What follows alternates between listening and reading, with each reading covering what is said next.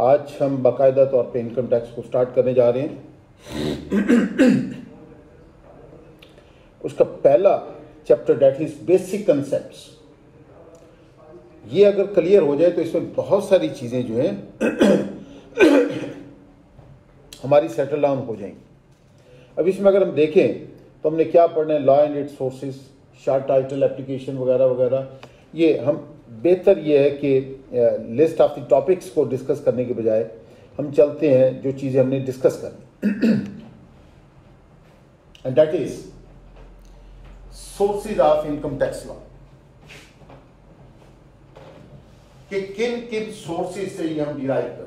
Number one is the constitution of the Islamic Republic of Pakistan इसका मतलब यह है कि कोई भी कानून अगर आपने बनाना है तो लाजमी तौर पे उसकी अथॉरिटी अवेलेबल होनी चाहिए फ्रॉम द कॉन्स्टिट्यूशन और अगर कॉन्स्टिट्यूशन में उसकी अथॉरिटी नहीं है तो you can not impose the tax then उसी अथॉरिटी जो कॉन्स्टिट्यूशन ने दी है, उसको सामने रखते हुए there is the income tax ordinance अच्छा ये हम जानते हैं एक्ट या ऑर्डिनेंस जो है एक्ट या ऑर्डिनेंस ये हम जानते हैं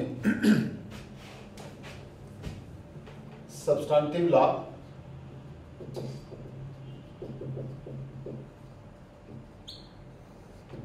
लॉ की बहुत सारी टाइप्स हैं। प्रोसीजर लॉ या सब वो एक और चीज़ है। तो इसमें कॉमनली हम देखते हैं कि एक्ट्स होते हैं या ऑर्डिनेंसेस होते हैं।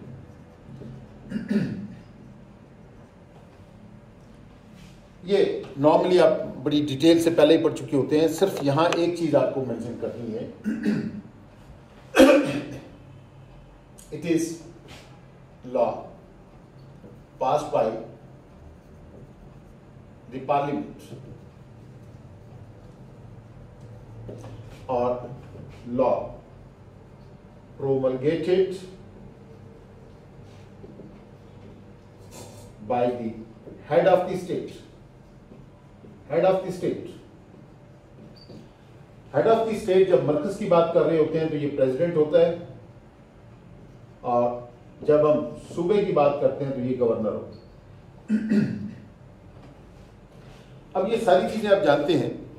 सिर्फ़ जो चीज़ नॉर्मली लोगों को नहीं पता कि लाइफ जो है life of the audience life of the audience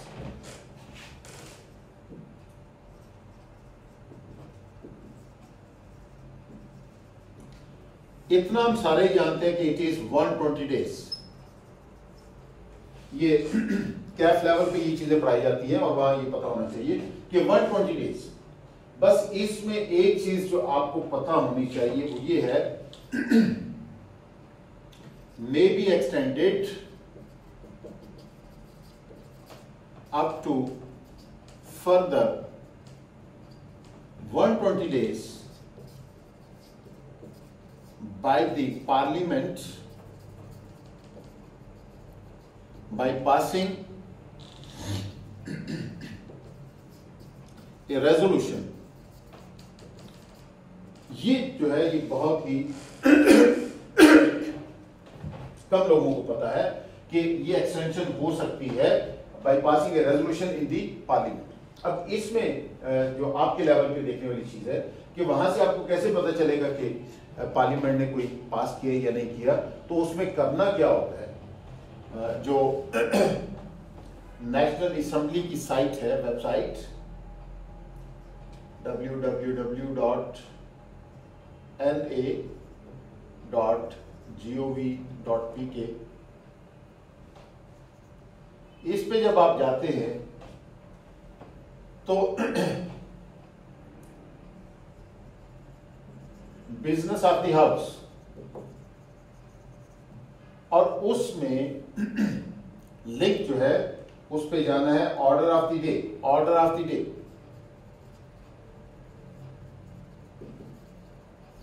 order of the day में क्या है? इसमें जो एजेंडा आइटम्स होते हैं वो और जो रेजोल्यूशन होते हैं उनका ज़िक्र इसमें होता है। तो जब किसी ऑर्डिनेंस की लाइफ खत्म हो रही होती है 120 डेज़ कितने ये फोर मंथ्स नहीं है बास किताबों में फोर मंथ्स लिखा हुआ है। और इवन बाज कैफ लेवल की किताबों में 90 डेज़ लिखा हुआ है वो नहीं है। सो so, 120 डेज़ जब पूरे हो रहे होते हैं, उसके लगभग एक दो दिन पहले आपको अगर इसमें एक्सटेंशन हुई है तो फिर उसमें ऑर्डर ऑफ़ द डे में आपको उस तारीख में रेजोल्यूशन आ जाएगा कि फला ordinance is extended by the parliament for further 120 days उसमें ये भी लिखा होता है कि किस तारीख से ऑनवर्ड यानी कि जिस तारीख को वो एक्सपायर हो रहा होता है, उससे आगे चलते ठीक है? तो ये एक खास चीज़ ताकि आप किसी से पूछने की ज़रूरत नहीं है कि ये एक्सटेंड हुआ था या नहीं हुआ था। आपको खुद पता होना चाहिए कि आप कहाँ से कंफर्म कर सकते हैं, जो मोर देन 90 परसेंट नॉर्मली लोगों को नहीं पता होता। Then comes income tax rules income tax rules ये जो रूल्स होते हैं these are termed as procedural laws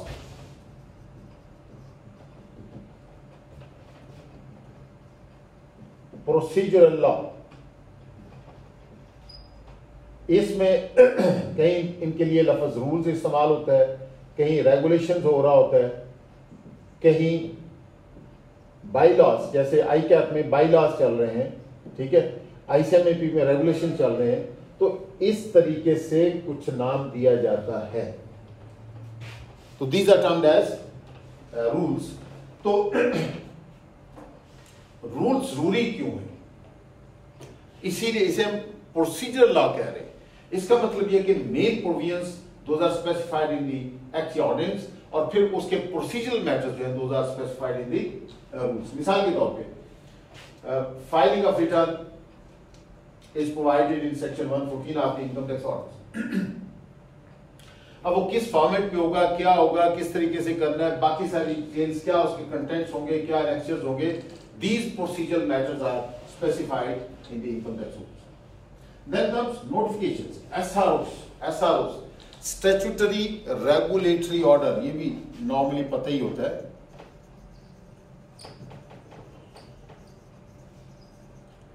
order SRO then circulars इनकी थोड़ी सी डिटेल आगे हम पढ़ेंगे एक्सेट्रा इसमें डायरेक्टरीज की बात कब होती है इशूड बाय दी एफबीआर जो भी कानून पे रेगुलेटरी बॉडी है, अगर हम कवानीन की बात करें कॉर्पोरेट लॉ में तो वहाँ एससीसी भी इज़ रेगुलेटरी बॉडी तो उसने ये नोटिफिकेशन सर्कुलर डायरेक्टरीज इशू करनी होती है। और जब टैक्स की बात कर रहे हैं इनकम टैक्स की तो इसमें these are to be issued by the FBR then judgments and interpretation by appellate tribunal, high court and supreme court of Pakistan इन्होंने जो जजमेंट्स दिए हैं जो इंटरप्रिटेशन की है वो भी सोर्स ऑफ़ लॉ है। तो these are five sources of law now comes application of the income tax ordinance और किन पे अस्वाइल ट्राइबल एरियाज़ जो सबका ट्राइबल एरियाज़ है ट्राइबल एरियाज़ आपको पता है पाकिस्तान में दो किस्म के ट्राइबल एरियाज़ थे, फाटा एंड पाटा। फाटा क्या है? Federally administered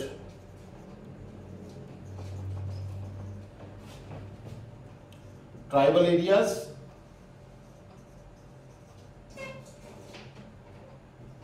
or this, this was provincially administered tribal areas. इन सबको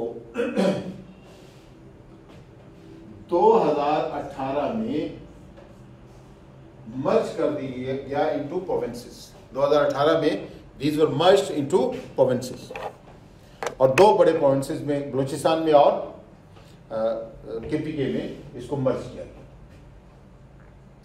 अब उनके हवाले से कि ये कानून किन पे अप्लाई होता है? तो फ्रॉम थर्टी फ़र्स्ट में अच्छा बुनियादी तौर पे इससे पहले क्या है? ये ये आईनी अमेंडमेंट से पहले ये था कि ट्राइबल एरियाज़ पे या जीबी पे या किसी और इलाका पे अगर किसी कानून को अप्लाई करना है तो उसके हवाले से इलादा से नोटिफिकेशन जारी करना पड़ता है।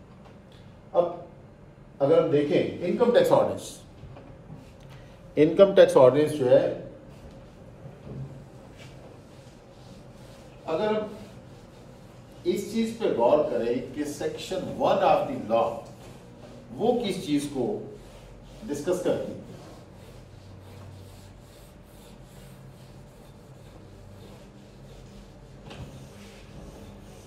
Section one of the law बुनियादी तौर पे तमाम कवानीन की सेक्शन वन तीन चीज़ों को डील करती है। One is name of the law name of the law कि उसका नाम क्या होगा? Two applicability of the law कि ये कानून किन पे अप्लाई होगा? और डेट ऑफ़ इन्फोर्समेंट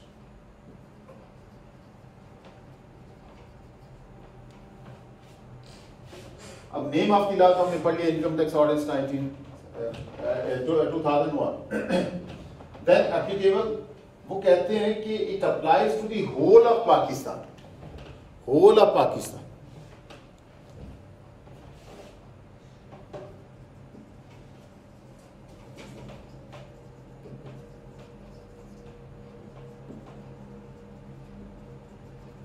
अच्छा ये चीज़ें शायद इम्तिहान में टेस्टेबल नहीं है इन, इतनी बारीकियों में नहीं जाते हैं। लेकिन ये आपके लिए जानना ज़रूरी है, क्योंकि आपने इसके बाद टैक्स का कोई और पेपर नहीं करना। तो आपके पास एक्सपर्ट नॉलेज होना चाहिए। तो होल ऑफ़ पाकिस्तान जो है, इसमें लिखा हुआ है कि ये आईसीटी फोर प्रोविंसेस और ये कौन से प्रोविंसेस केपीके, पंजाब, बलूचिस्तान और सिंध। और third any other part which may become part of Pakistan अब इसकी रोशनी में आपका GB and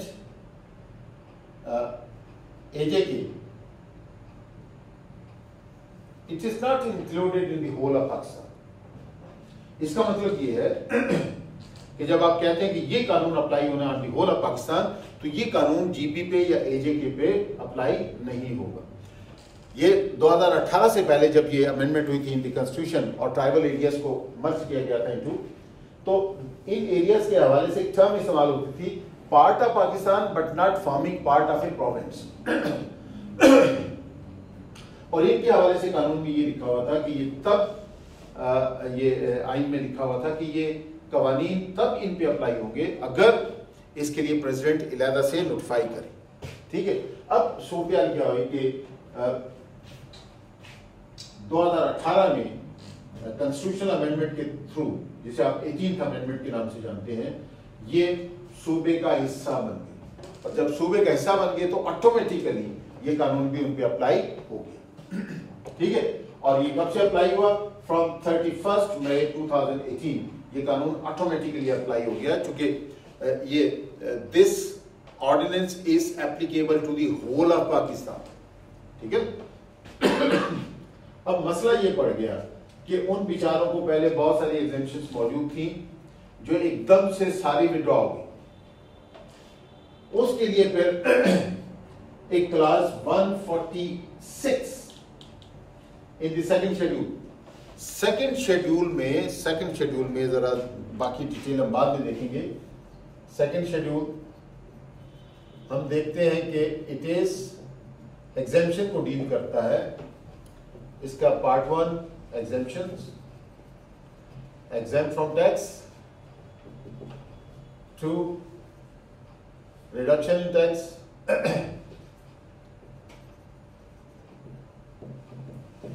then a reduction in tax rate or chothi cheese exemption from application of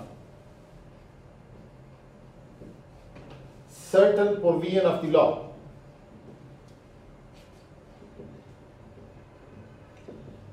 कि उसमें लिखा होगा कि फला फला प्रोविज़न अप्लाई नहीं होगी तो part one of the second schedule deals with exemption from tax तो there was class 146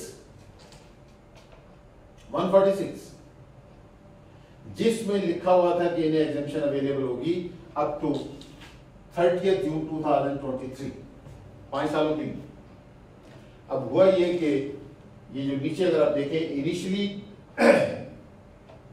this exemption was through clause 146 which was omitted by the finance act 2021 तो 2021 का जो फाइनेंस एक्ट था, उसने इसको ओमिट कर दिया। इसका मतलब क्या हुआ? इसके ओमिट हो जाने का मतलब ये हुआ कि ऑटोमेटिकली फ्रॉम फ़र्स्ट जुलाई 2021 ये एग्जामेशन खत्म होगी। लेकिन इस पर फिर मसला बना। और उसके बाद एक नई क्लास जारी की गई 145 ए और एक एस जारी किया गया बारह तेरह। अच्छा ये एस इसको जरा थोड़ा सा क्लोज कीजिएगा ये जो सेकंड आई एस ये जो एस है यही नंबर लिख लेते हैं हम। आई 2018 ये शायद आप जानते ही हो कि इससे मुराद क्या है। ये कैसे डिनोट होता है। नॉर्मली हम इग्नोर कर देते हैं। ये तो है नंबर और पाकिस्तान में जितने भी एस किसी भी डिपार्टमेंट के इशू हो रहे होंगे, उन पे ये सीरियल वाइज ये नंबर लगता चला हर साल वन से शुरू होता है और जितने भी हो जाए, हो जाता है। और ये part second of the official gazette में ये चीज़ें छपती होती है। ठीक है? अच्छा ये जो है ईयर ऑफ़ इशुएंस ये जो बीच में है, आई, ये मुख्तलिफ़ अल्फाज इस्तेमाल हो सकते हैं। Number one I. Then P then L then Q and then K ये ये जो ब्रैकेट के अंदर आई है, ये डिनोट करता है इस्लामाबाद को। पी पिशावर। एल लाहौर। ये बहुत थोड़े लोगों को पता है। क्यों कोयटा। क्योंकि इस पे हम ज़रूरत ही नहीं समझते और के जो है, वो कराची। तो अब एसआरओ की अगर हम थोड़ी डिटेल देखें तो सबसे पहले उसका नंबर होता है, फिर ब्रैकेट में जिस जगह से इशू हुआ उसका है, और फिर स्लैश डाल के उसका ईयर तो ये एस आर ओ बारह तेरह टू थाउज़ेंड एटीन और फिर बाद में क्लास 145 ए इंसर्ट की गई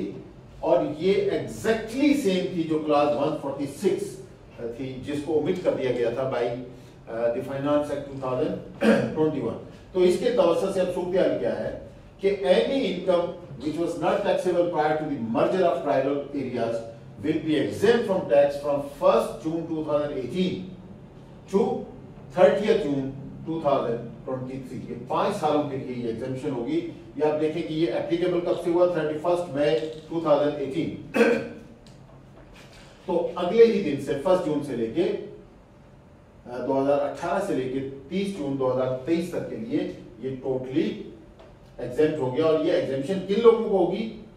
An individual domiciled in tribal areas then a company or an AOP resident in tribal areas तो ये कैटेगरी है जिन लोगों को this will be exempt from tax इसी तरीके से, ये इसी एसआरओ के दोस्तों से और फिर clause one ten of part four of the second schedule जैसे हमने यहाँ पढ़ा था कि exemption from application of certain provision of the law तो ये certain provision of the law की एग्जेम्पन सामने आ रही है। तो इसमें क्या लिखा हुआ है? अब कानून जब अप्लाई होता है, अगर इनकम एग्जेम्प्ट है तो लाजमी नहीं कि टैक्स विद होल्डिंग भी एग्जामेशन उसकी अवेलेबल हो। लेकिन इसके तवसत से फिर उसी पीरियड के लिए ये कर दिया गया कि द प्रोविजंस ऑफ़ डिडक्शन और कलेक्शन ऑफ़ विदहोल्डिंग टैक्सेस और ये मुख्तलिफ़ सेक्शन आपकी 149 से लेके 158 तक एंड 231 ए से लेके 236 वाई तक ये मुख्तलिफ़ सेक्शंस हैं।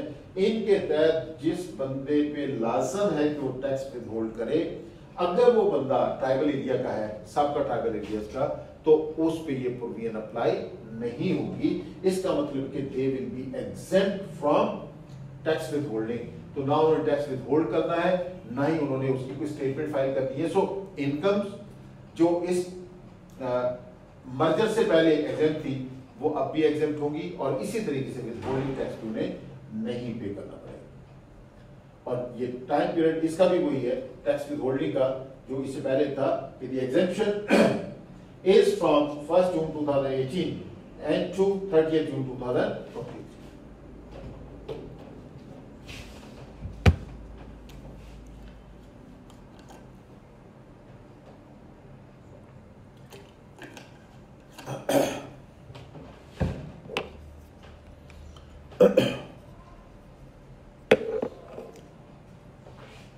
अब आते हैं इस चीज़ की तरफ़ कि what is the status of the income tax ordinance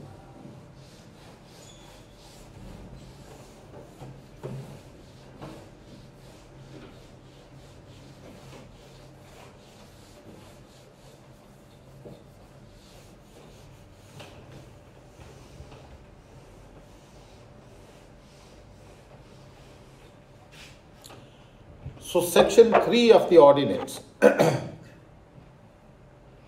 बड़ी छोटी सी सेक्शन है, लेकिन बहुत हैवी सेक्शन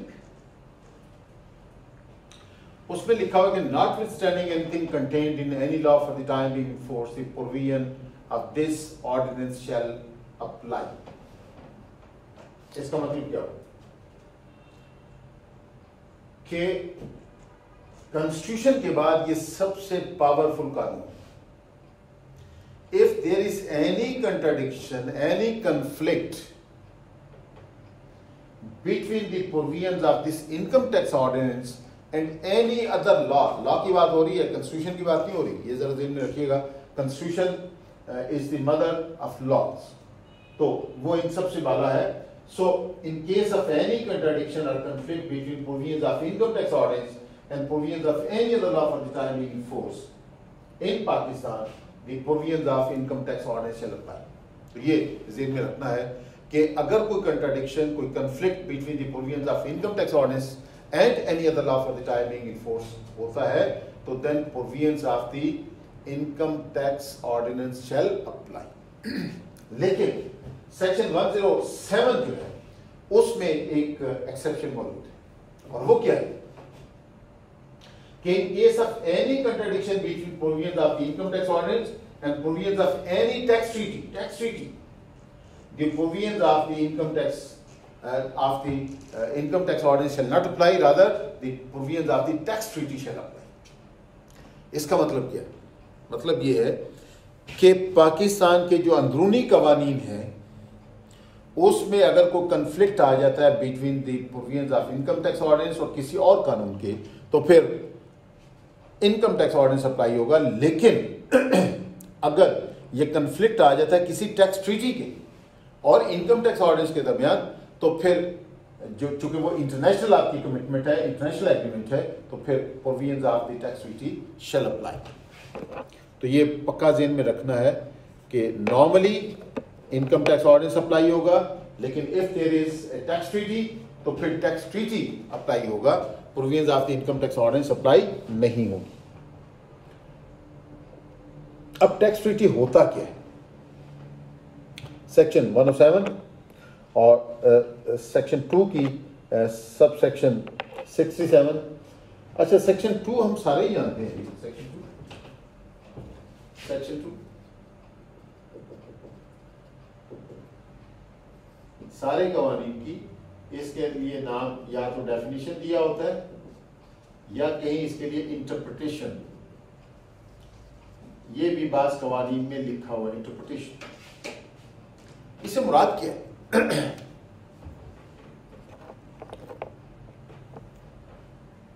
इसको समझने के लिए दायरे में मैंने एक लाइन लगाई।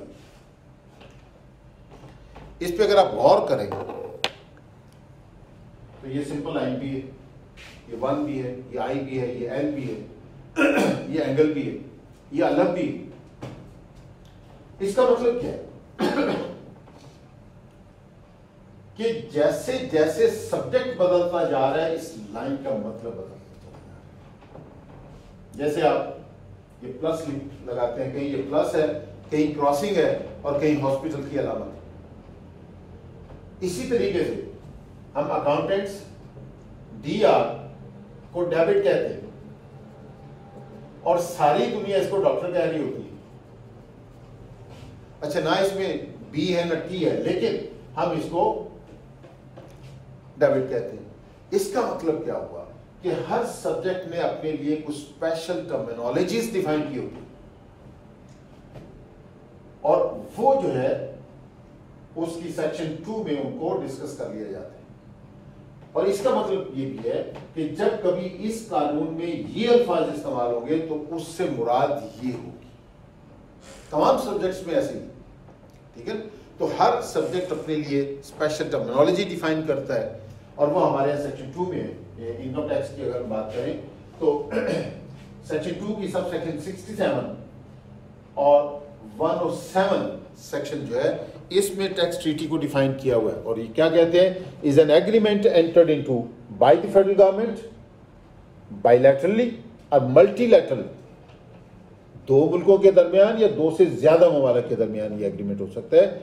With governments of a foreign country for the purpose of avoidance of double taxation double taxation and prevention of fiscal evasion with respect to taxes on income under the income tax ordinance and income tax law of that country ये कि ये ना हो कि एक ही बंदे की income यहाँ भी टैक्सेबल हो जाए और किसी दूसरे मुल्क में टैक्सेबल हो जाए तो उससे बचने के लिए ये टैक्स ट्रीटीज किए जाते हैं और इट मे कंटेन प्रोविजंस यानी कि एक तो बेसिक तो वही है कि अवॉइडेंस ऑफ़ डबल टैक्सेशन इसके अलावा कुछ और चीज़ें भी हो सकती हैं, वो है prevention of fiscal avoidance of double taxation assistance in recovery of taxes and exchange of information including automatic exchange of information तो ये वो मकासद हैं जिनके लिए टैक्स ट्रीटी को किया जाता है बिटवीन डिफरेंट कंट्रीज़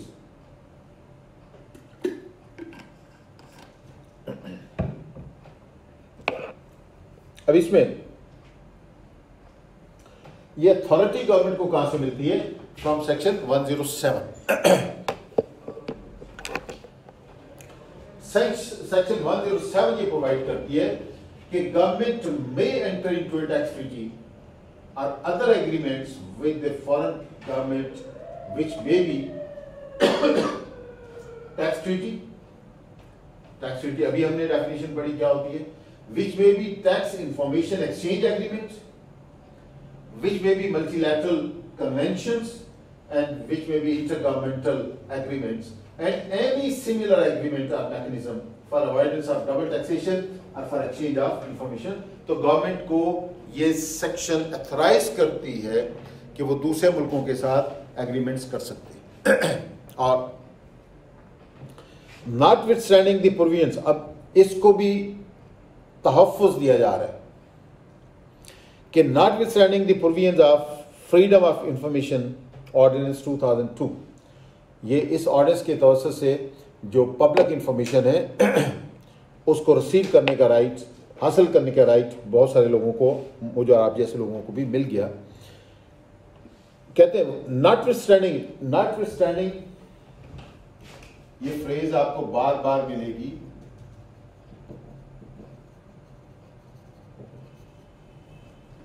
और एक इसके parallel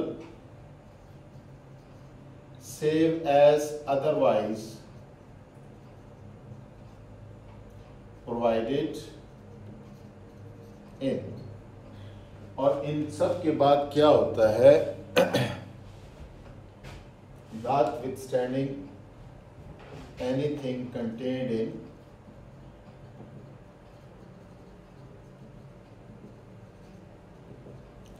नॉर्मली तो ये अजम्पशन होती है कि इस लेवल के स्टूडेंट्स को ये सारी चीज़ें पता होगी, लेकिन होता ये है कि हम भूल जाते हैं।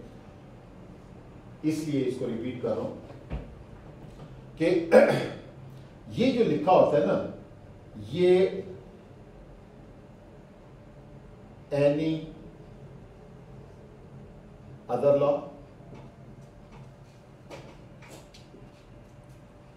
any specified law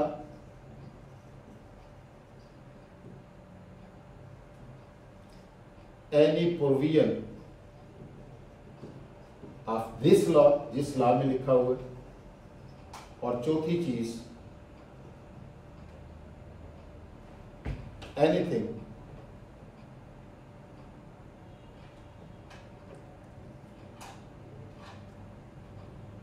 in this law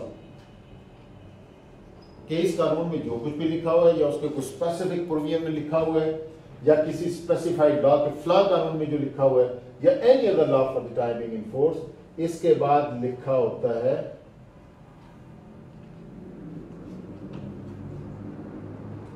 कि क्या होगा?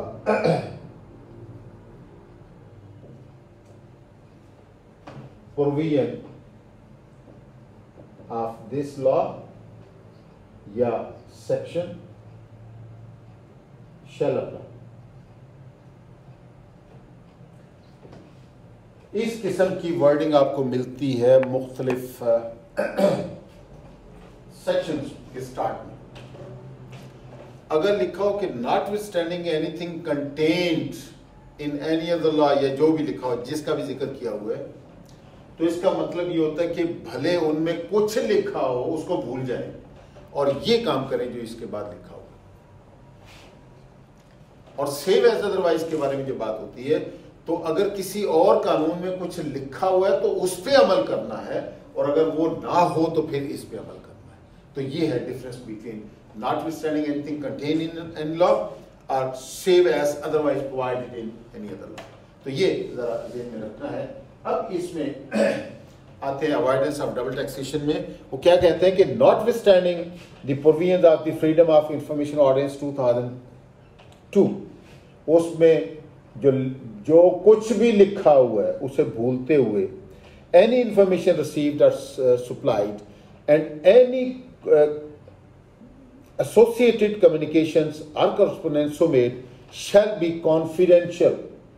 ये कॉन्फिडेंशियल है। इसका मतलब ये है कि आपने इसको फ्रीली पास ऑन नहीं करना है। जो इंफॉर्मेशन टैक्स ट्रीटी के तरफ़ से मिलेगी, ये उसी तरीके से कॉन्फिडेंशियल है। जैसे information of the income tax ordinance confidential है। इरिस्पेक्टिव के फ्रीडम ऑफ़ इंफॉर्मेशन ऑर्डिनेंस 2002 में क्या लिखा हुआ है, उसमें जो राइट दिया हुआ है, वो यहाँ अप्लाई नहीं होगा। और फिर, if necessary, it can be shared only with a person acting in execution of income tax ordinance as permitted under section 219 तो सेक्शन 219 में बताया हुआ है कि किन किन कंडीशंस के साथ कौन से लोग, कौन सी इंफॉर्मेशन पास ऑन कर सकते हैं।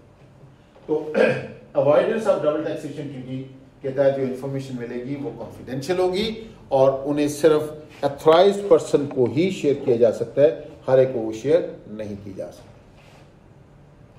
अब subject matter of the agreements ये जो avoidance of double taxation treaties हैं, उनका सब्जेक्ट मैटर क्या है?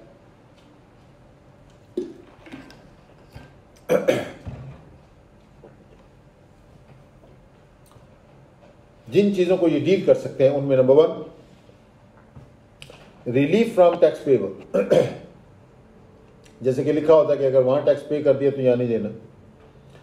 Then determining income accruing or arising deem to accrue or arise to non resident from sources within Pakistan कि नॉन रेजिडेंट की income हम यहाँ समझेंगे या नहीं समझेंगे क्या समझेंगे उसमें दिया होगा।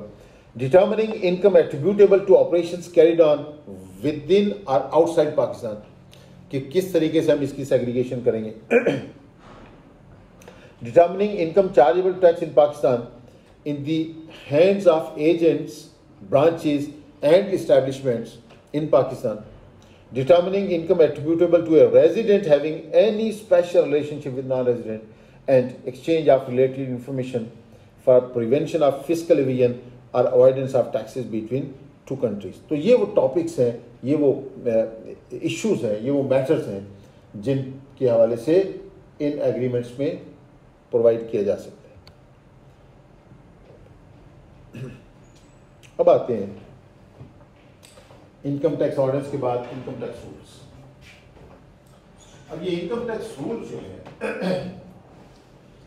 इसकी भी अगर अथॉरिटी ऑर्डिनेंस से मिलेगी तो रूल्स बनाए जा सकते हैं, नहीं तो नहीं बनाए जा सकते। तो इसके लिए फिर सेक्शन 237 है, वो एथराइज करती है एफबीआर को कि एफबीआर में नोटिफाई अच्छा जब भी लफज नोटिफाई का लफज आएगा नोटिफाई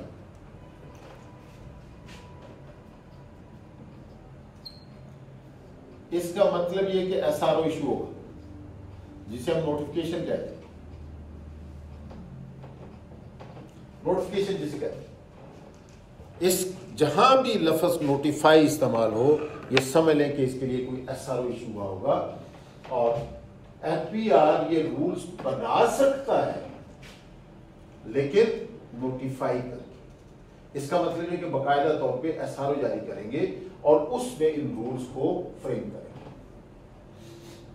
एंड द रूल्स में provide for procedure for all matters necessary for proper implementation and enforcement of the income tax orders. तो इसमें तमाम ऐसी चीज़ें मौजूद होंगी जिसके तवसर से आप इसे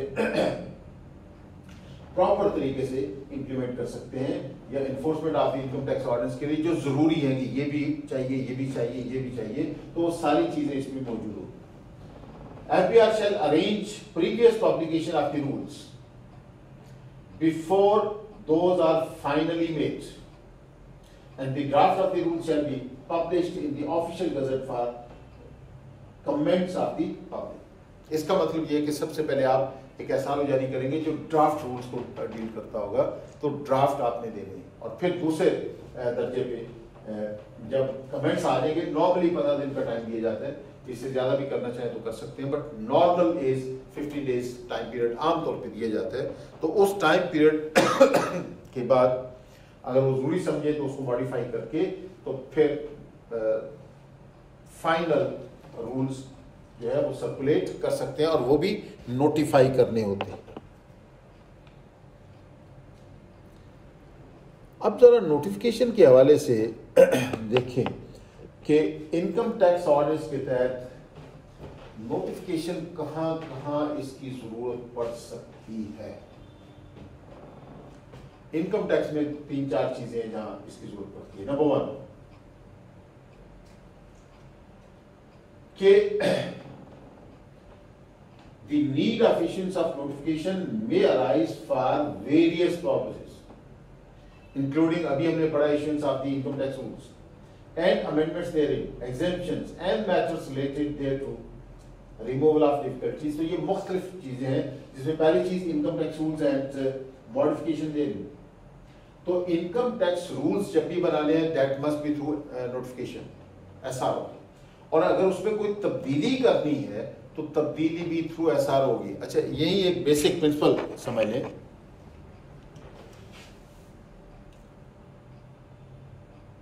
एक्ट या ऑर्डिनेंस रूल्स अगर इसको चेंज करना है तो थ्रू एन अदर एक्ट और ऑर्डिनेंस ही कर सकते हैं। अगर वो सब्सटेंटिव लॉ है तो उसको तब्दील करने के लिए कोई और सब्सटेंटिव लॉ आना चाहिए। अगर प्रोसीजर लॉ है तो उसको चेंज करने के लिए कुछ और प्रोसीजर लॉ आना चाहिए। इसका मतलब यह है कि एक्ट ऑर्डिनेंस को तब्दील करना है तो लाजमी तौर पे कोई और एक्ट ऑर्डिनेंस आना ज़रूरी है। जैसे हम हर साल देखते हैं कि फाइनेंस एक्ट आता है हर साल के हवाले से, और वो मुख्तलिफ़ रेवेन्यू लॉज जिसमें income tax tax custom excise वगैरह में तब्दीलियाँ करते हैं। तो उसके बगैर ये तब्दीली नहीं हो सकती। दूसरी चीज़, अगर रूल्स को तब्दील करना है और रूल्स जो है वो एस आर ओ के तो असर से आते हैं तो इसका मतलब ये है कि इसको तब्दील करने के लिए भी आपको एस आर ओ की ज़रूरत पड़ेगी। तो नोटिफिकेशन का एक अहम जो सेगमेंट है, वो है रूल्स बनाने के लिए उनको मॉडिफाई करने के लिए। फिर दूसरी चीज़ exemption and tax concession second schedule में सेक्शन 53 अगर हम देखें तो सेक्शन 53 में ये कहा हुआ है कि आप तब्दीलियाँ करना चाहें इन द सेकंड शेड्यूल इसका मतलब कोई एग्जामेशन देनी है, कोई विड्रॉ करनी है, कोई एक्सटेंड करनी है, कोई उसकी कंडीशंस चेंज करनी है तो आप चाहें तो एस आर ओ के तवसत से कर सकते हैं। तो इसके लिए भी आप अच्छा अगर ये ना लिखा होता तो फिर आप ऐसा नहीं कर सकते। क्योंकि सेक्शन 53 या उसके शेड्यूल हैं दो are part of the law main law ordinance तो उसमें तब्दीली के लिए फिर आपको ऑर्डिनेंस ही चाहिए। लेकिन वही सेक्शन 53 में लिखा हुआ है कि अगर आप ड्यूरिंग द ईयर को तब्दीली करना चाहते हैं इन दी सेकेंड शेड्यूल तो उसके लिए आपको एस आर ओ इशू करके आप ऐसा कर सकते हैं। देन तीसरी जो चीज़ है, वो सेक्शन 240 241 में दी हुई है कि नोटिफिकेशन इशू करने की की ज़रूरत एक और भी आ सकती है रिमूवल ऑफ़ डिफिकल्टीज तो इसमें क्या है? कि there may arise any difficulty in giving effect to any of the provisions of the income tax ordinance. In order to remove any such difficulty, federal government may make necessary order by a notification in the official gazette. Such order shall not be inconsistent. ये जरा बहुत अहम चीज है ध्यान में रखिएगा कि जो भी है it should not be inconsistent with the provisions of the income tax ordinance. Any order inconsistent with the ITO shall have no legal standing. तो ये खास ध्यान में रखना है कि ये जो प्रोसीजरल लॉ है, ये मेन लॉ को तब्दील नहीं करता। कोई प्रोविज़न इसमें ऐसी नहीं होनी चाहिए which is contradictory to the provision of the main law और अगर कोई इस किस्म की इनकन्सिस्टेंसी मौजूद है तो उसकी कोई लीगल स्टैंडिंग नहीं हो then all notifications and order notified by the federal government while exercising is its authority under the law before 1st July 2017 shall be deemed to have been validly issued. कि यकम जुलाई 2017 actually finance act 2017 में एक तब्दीली आई थी और उसमें चीज़ ये लेके आए थे कि जो एग्जेम्पशन के नोटिफिकेशन थे एस उनकी लाइफ डिटर्मन कर दी थी कि वो life shall be one year one fiscal year और वो भी ये था कि थर्टी जून तक अगर आप उसे थ्रू एक्ट चेंज नहीं कर लेते तो वो खत्म हो जाते हैं। तो इसके लिए फिर ये कहा गया कि इससे पहले जितने भी इशू हुए, वो आप समझेंगे कि वैलिडली इशूड थे। और फिर अब इसका, इसकी लीगल स्टैंडिंग क्या है नोटिफिकेशन की? Notification is a procedure law and is binding on the all stakeholders और स्टेक होल्डर्स कौन से टैक्स डिपार्टमेंट भी है और टैक्स पेयर भी है। और इसी तरीके से। अगर कोर्ट में किसी जाते हैं तो वहाँ भी ये बाइंडिंग है। जब तक ये अगेंस्ट द लॉ साबित ना हो जाए तो it is taken as a valid law और ये तमाम लोगों पे बाइंडिंग होते हैं। अब आते हैं सर्कुलर सर्कुलर बुनियादी तौर पे इसका मकसद क्या है? ये अगर आप देखें, पहली लाइन पढ़ें। FBR may issue circulars for the purpose of achieving consistency in administration of the income tax ordinance and to provide guidance to its officers and the taxpayers. Guidance के लिए बाकायदा इसलिए इशू किए जाते हैं कि एक सा ही तरीकेकार सारे लोग अडॉप्ट करें लेकिन इट इज़ फॉर गाइडेंस इसका मतलब क्या है गाइडेंस को मान ले तो ठीक ना माने तो फिर उसकी बाइंडिंग नहीं होती। तो यही अगर हम स्टेटस देखें तो तीन डिफरेंट स्टेक होल्डर्स हो सकते हैं इसकी।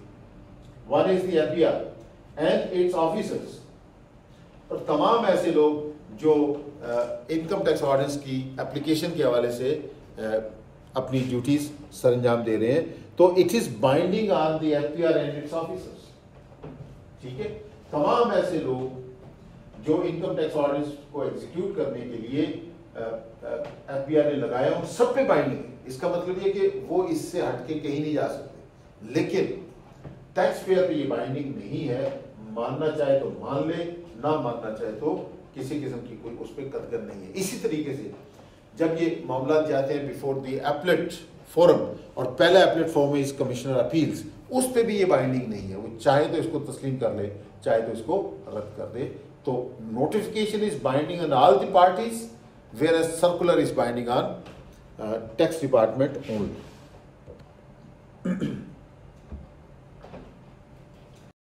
so next हमारा जो टॉपिक है that is charge of income tax और यही हमारी तमाम स्टडी का निचोड़ होगा सेक्शन फोर जो चार्जिंग सेक्शंस हैं चार्जिंग सेक्शंस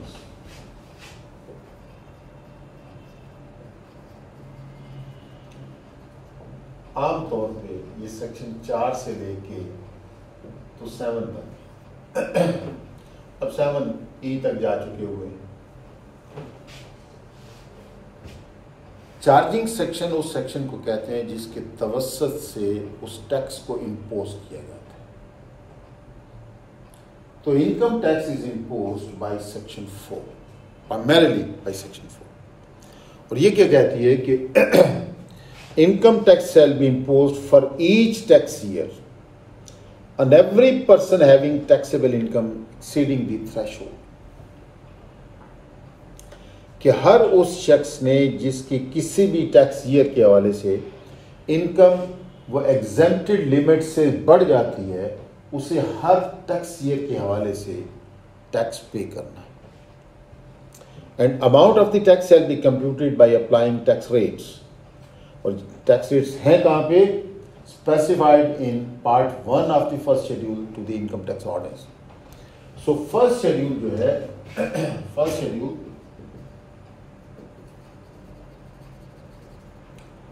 ये टैक्स रेट्स बताता है।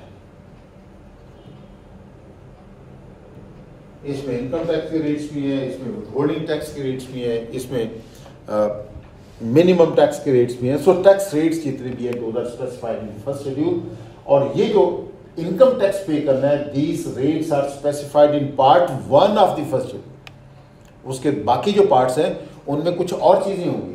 किसी और चीज़ के लिए टैक्स रेट्स होंगे। और ये जो टैक्सेबल इनकम उस बंदे ने डिराइव किया है ड्यूरिंग ए टैक्स ईयर उस पे ये रेट अप्लाई करेंगे जो फ़र्स्ट शेड्यूल में दिए हुए हैं। और उसके भी पार्ट वन में जो दिए हुए हैं तो this will be the tax So income tax is an annual charge payable by every person whose taxable income for the year exceeds the threshold and this is uh, uh, the tax is computed by applying the rate which are given in uh, part 1 of the first schedule and, and these are applied to the taxable. Then rates के हवाले से फिर ये section four में क्या कहते हैं कि any amendment in the tax rates shall be effective from the date specified in the notification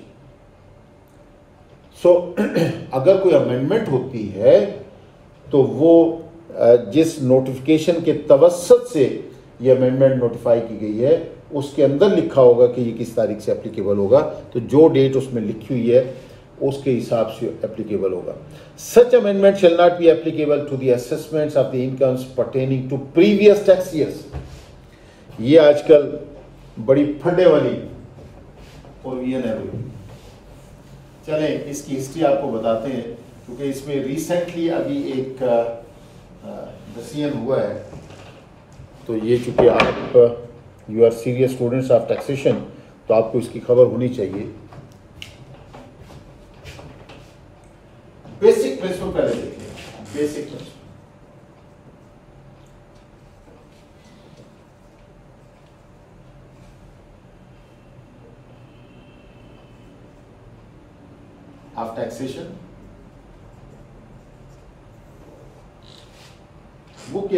tax is levied,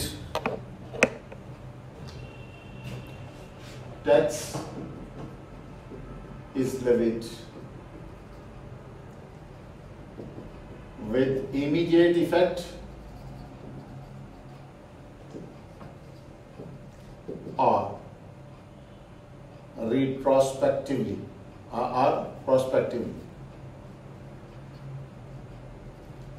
Prospectively से क्या मुराद है विद फ्यूचर डेट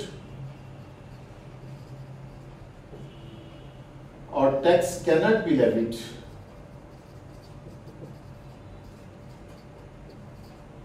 retrospectively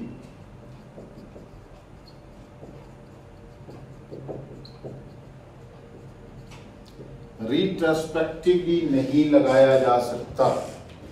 ये सारी दुनिया में माना हुआ। स्कूल और यही सेक्शन फोर भी कहा हुआ ये जो अभी हम देख रहे हैं any amendment in the tax rate shall be effective from the date specified in the notification and such amendment shall not be applicable to the assessments of the incomes pertaining to previous tax years. माजी की तारीख से applicable नहीं हो सकता लेकिन अभी क्या हुआ है सेक्शन फोर सी समेत सेक्शन ये आजकल खासा फटा पड़ा हुआ है। सेक्शन सेवन ई और फिर सेक्शन फोर सी आप इनकम टैक्स ऑर्डर्स के हवाले से बात कर रहे हैं। सेक्शन फोर सी जो है, इसके हवाले से 22 दिसंबर 2022 को सिंध हाई कोर्ट का एक जजमेंट आया।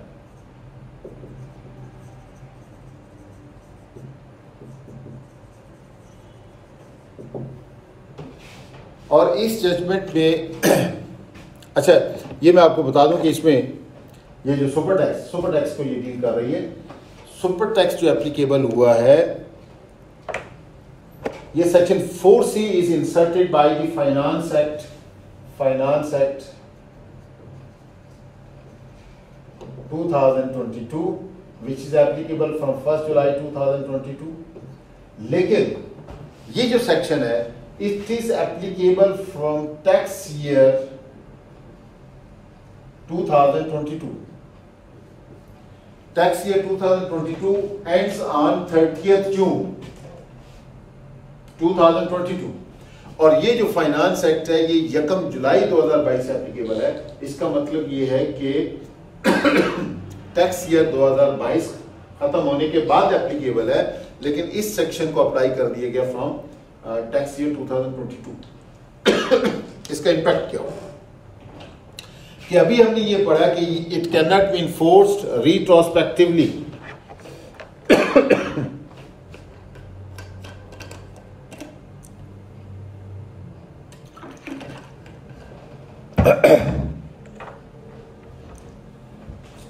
retrospectively नहीं लगा सकते लिखा हो तो फिर ये वो कानून जो फ़र्स्ट जुलाई 2022 से एप्लीकेबल है, वो 30 जून 2022 तक एप्लीकेबल कैसे हो गया? This was the question before the court और सिंध हाई कोर्ट ने जो जजमेंट दिया, उसमें एक चीज़ तो ये है, उन्होंने इसको कंफर्म कर दिया। एक चीज़ ये कंफर्म्ड कि रिट्रोस्पेक्टिवली नहीं लगा सकेंगे। और दूसरी चीज़ उसमें बड़ी यूनिक चीज़ मैंने देखी, वो ये थी this judgment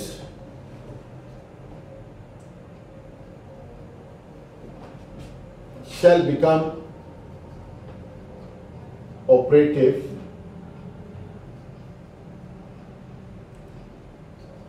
after 60 days of its announcement.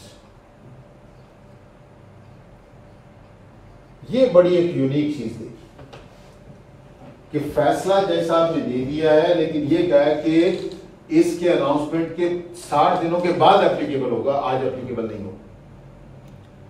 उसकी वजह मुझे समझ आती वजह क्या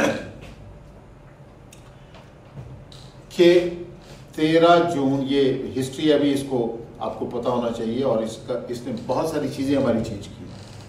2013 ये फाइनेंस बिल 2013 पेश हुआ था इन पार्लियामेंट तेरह जून को, ये बजट पेश किया था, ये इस तारीख को।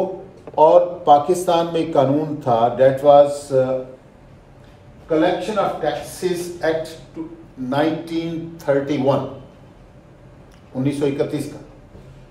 और उस किस्म के कवानीन बहुत सारे मुल्कों में पाए जाते हैं, और उसमें क्या था कि जो इनडायरेक्ट टैक्सेस हैं, वो फौरी तौर पे लागू हो सकते हैं, जिस दिन बजट अनाउंस करें इमीडिएटली इफ़ेक्टिव हो सकते हैं।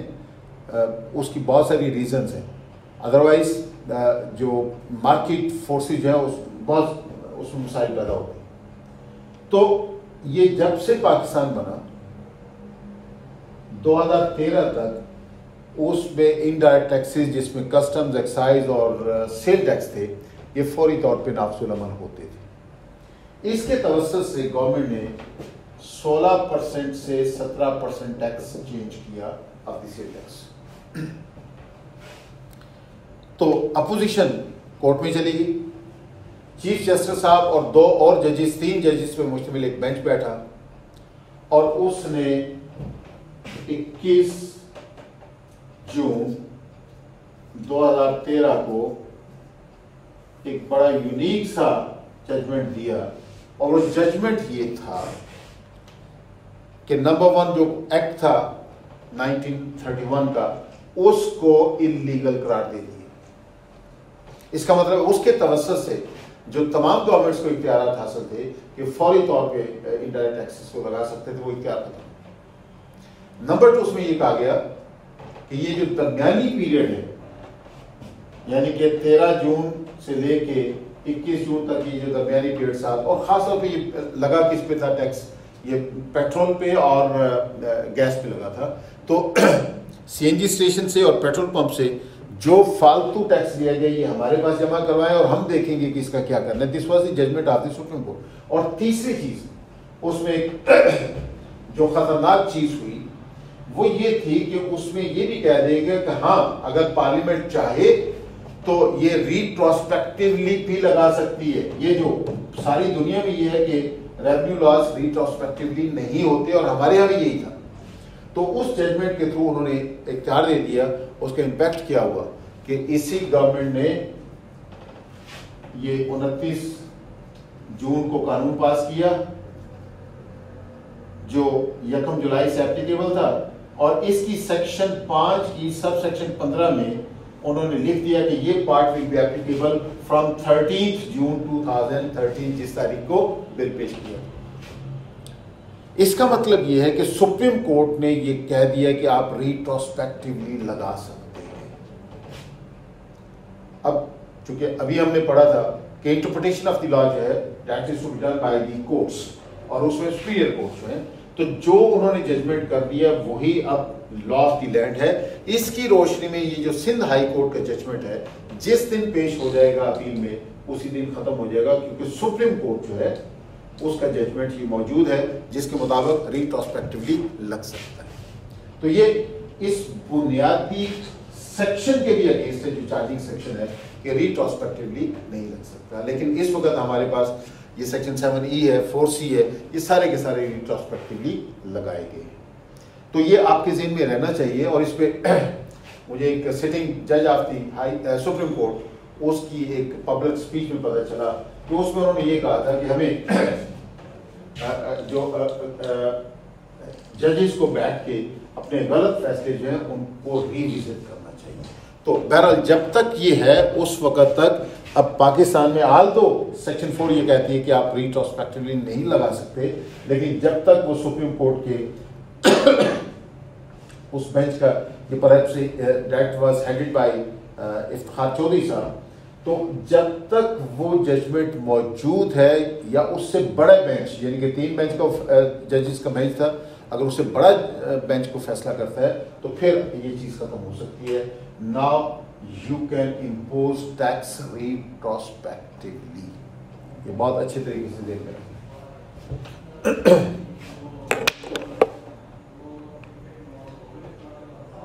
अच्छा जी then tax payable and tax credits हमने ये पढ़ा कि टैक्स जो निकाला जाता है that is the taxable income multiplied by the multiplied by the tax rates अब जो टैक्स आ गया, उस टैक्स में से कुछ आप टैक्स क्रेडिट्स छूट क्या है। टैक्स क्रेडिट्स को मैं नॉर्मली दो बड़ी कैटेगरीज में तकसीम करता हूँ।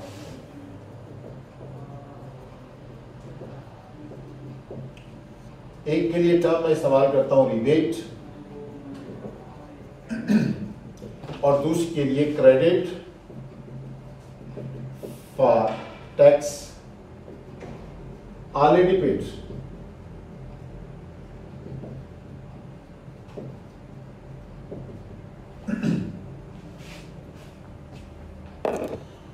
rebate क्या होती है? छूट. इसका मतलब यह है कि जितना टैक्स बनता था वो कहते हैं, इसमें से कुछ कम कर दो। अगर कुछ कंडीशंस पूरी की जाती हैं। इसका एक मतलब और भी है कि छूट मैक्सिमम कितनी मिल सकती है? अगर आप मार्केट में किताब लेने जाते हैं और फ़र्ज़ करें कि वो पाँच सौ रुपए की किताब है तो दुकानदार आपको मैक्सिमम कितना छूट दे सकते हैं? मैक्सिमम पाँच सौ दे सकते हैं। ये तो नहीं होगा कि दस रुपए अपने पल्ले से भी देगी किताब भी दे। इसका मतलब ये कि rebate can not exceed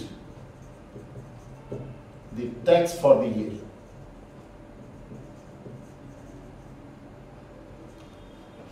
rebate इसीलिए मैंने इसको दिया है कि it can not exceed the tax for the year जो टैक्स आपने तय किया हो उससे बढ़ नहीं सकता। और फिर, अगर any excess if any any excess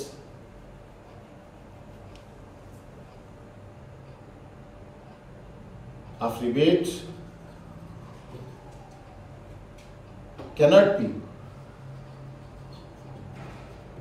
refunded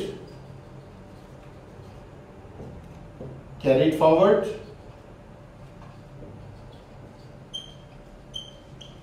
are carried back.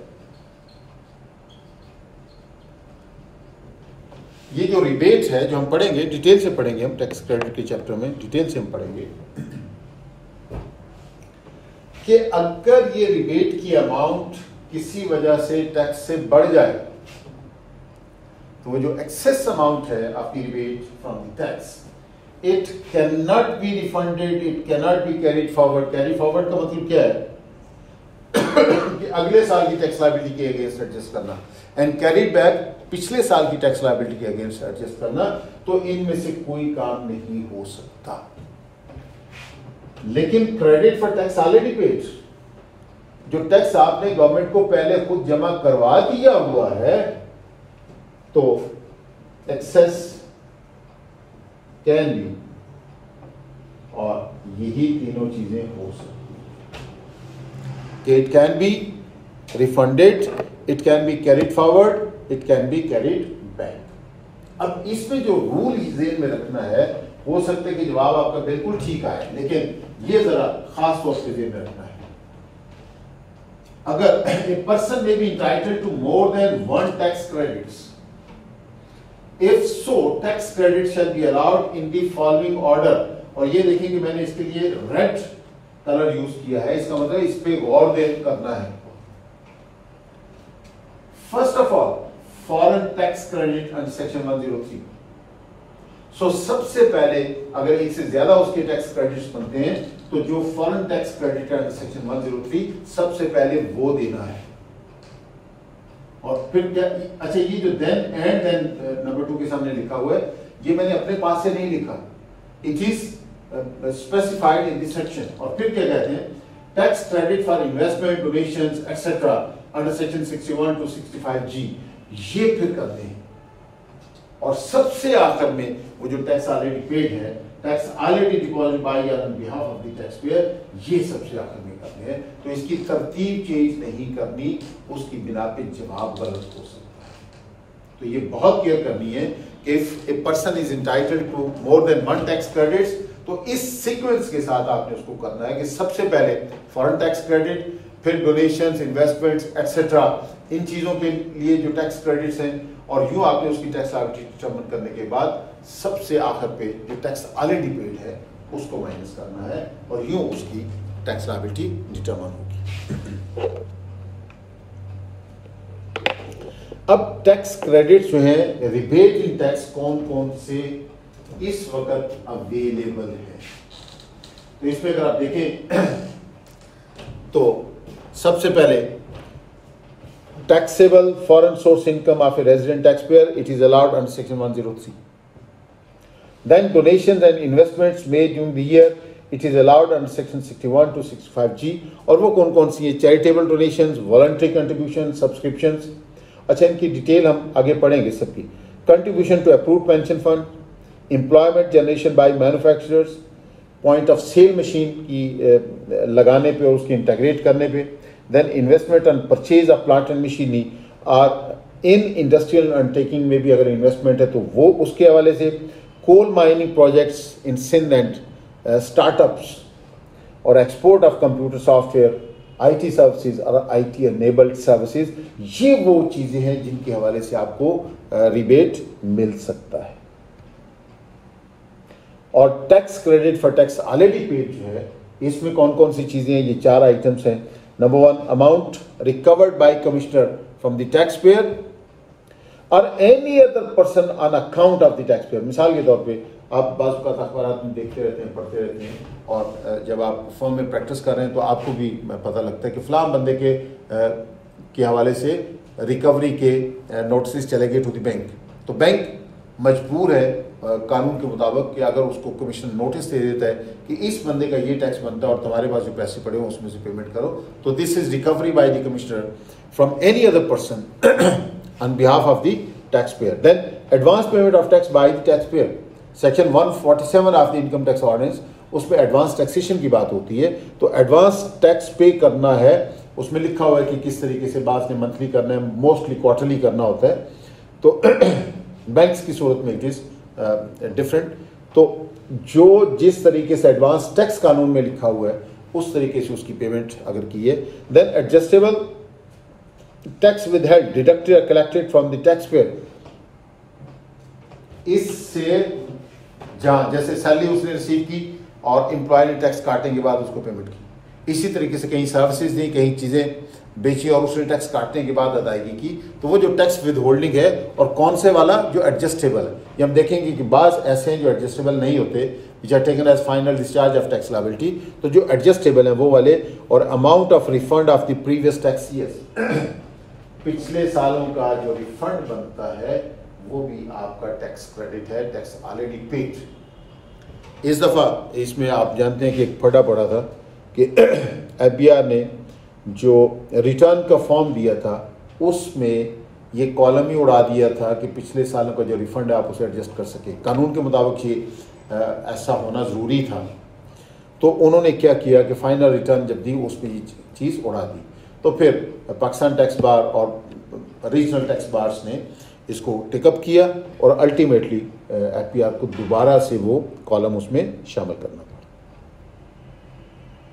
और सेक्शन फोर की सब सेक्शन सिक्स कुछ और चीज़ें भी बता रही है क्योंकि section four is charging section this is tax withholding and tax in advance क्योंकि कोई सा भी कानून uh, uh, अगर है टैक्स कलेक्ट करने वाला तो उसमें uh, आइन में ये लिखा हुआ है कि tax may be impose only by law तो अगर आपने टैक्स विद होल्डिंग करनी है तो वो भी कानून में प्रोवाइड होना ज़रूरी है।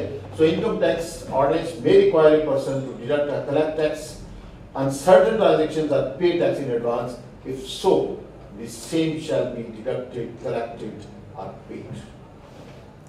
और टैक्स होता क्या है सिंपल सी कहानी किसी भी किस्म की अमाउंट जो इनकम टैक्स ऑर्डिनेंस के तहत पे करनी है डेट इज़ द टैक्स और इसमें क्या क्या चीज़ें शामिल है एक तो इनकम टैक्स है ही इसके अलावा डिफ़ॉल्ट सरचार्ज पेनल्टी फ़ी और एनी अमाउंट लेविएबल और payable under the income tax ordinance default surcharge आप जानते होंगे जी। डिफ़ॉल्ट सरचार्ज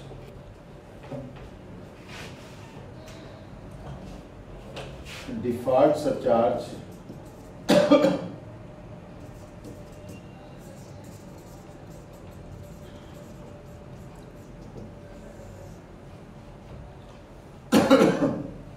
यूँ समझ लें कि interest charged by government for non-payment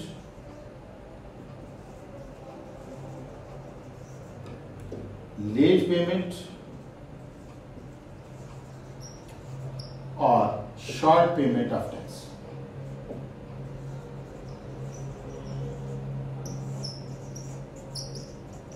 So tax नहीं पे किया।